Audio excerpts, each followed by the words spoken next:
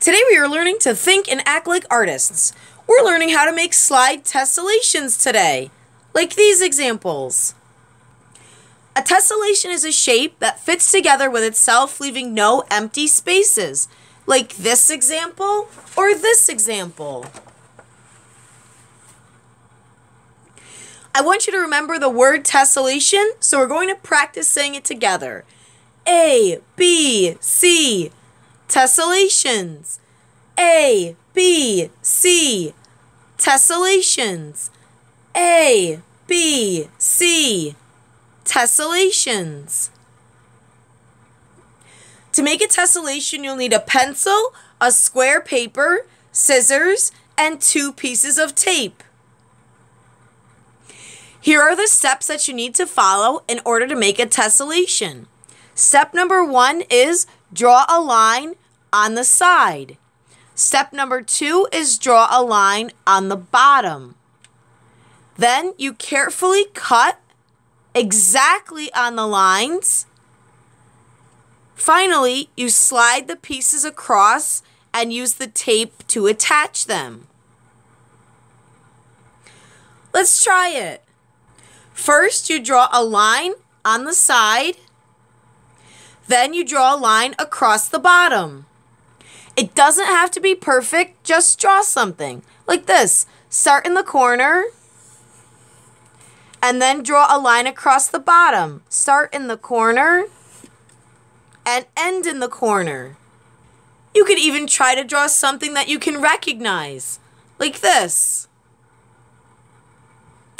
Don't do this. This will be too hard to cut out with the scissors. Don't make anything you can't cut out. Don't do this. This will be too boring. Make your lines go into the center of the square a little bit more. These are really flat. Don't do this. Don't start drawing your lines in the middle of nowhere. Start in the corner and end in the corner. Now draw a line along the side and a line across the bottom. It might look like one of these when it's done. Do that now and then stop.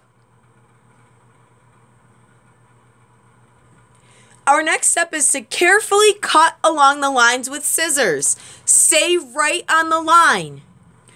Don't do this. Don't cut it up into a million tiny little pieces. You have to be able to put it back together like a puzzle when you're done. Like this. So do that now and then stop. Cut on the lines and then put it back together like a puzzle.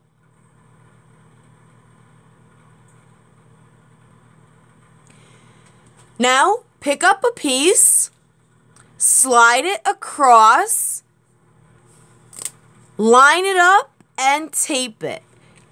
You shouldn't have a crack of space in between the pieces. They should fit exactly and tape it. Pick up your piece, slide it straight across, line it up, and tape it. If you have extra tape, you can fold it over. And your tessellation is done. Let's watch that again.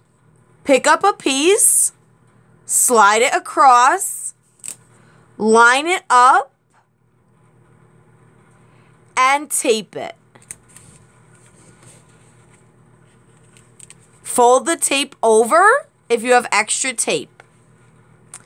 Now, pick up a piece, slide it across, line it up so there isn't a space in between and tape it.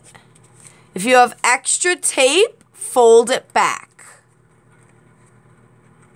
Now your tessellation is done. You can write your name on it and help a friend if someone at your table needs help. Do that now and then stop. Here is how to trace your tessellation. Take the tessellation and place it anywhere on your paper. Hold it down, and trace around it with Sharpie.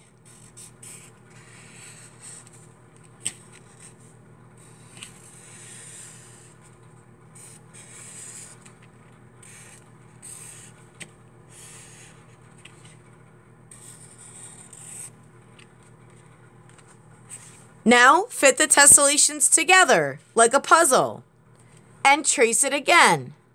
You won't be able to trace the whole thing this time because it's going off the paper. Just trace the parts that you can trace. I want you to trace it four or five times in Sharpie and make sure that they fit together. It might look like this when it's done.